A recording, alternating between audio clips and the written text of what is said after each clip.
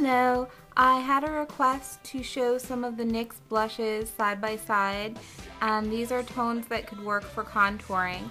Now it depends on what your skin tone is if any of these shades will actually work for you. I feel that these colors would work for contouring because they are shades of brown and they are matte colors which always work best for contouring. And I started out um, with a shade that I think looks best as a contour and that would be taupe and this is a cool toned brown and I think that's great for shading contouring.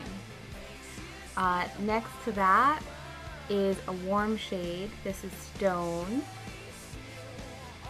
This is kind of a orangey brown color.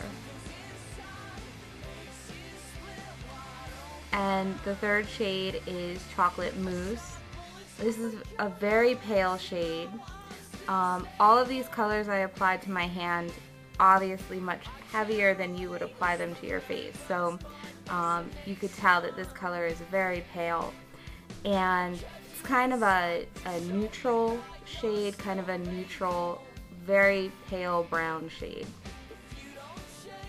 And next is Cocoa which is a deep cocoa shade of brown.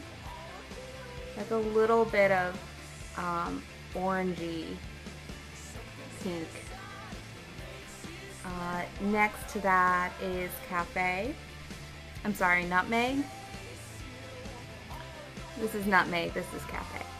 So Nutmeg is a deeper pinkish brown, but it is lighter uh, than Cocoa. And the next shade is Cafe. And this is a deep brown color. It's very similar uh, to Cocoa, but a little bit darker. And the last shade I was asked to swatch is Red, which is kind of an orange, like a natural orange brown So that is red. That's what they call it. Um, I don't think it looks like red.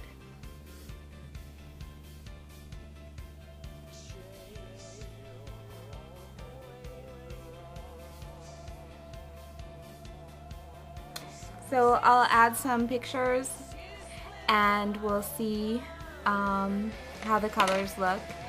So thank you for the request and have a great day.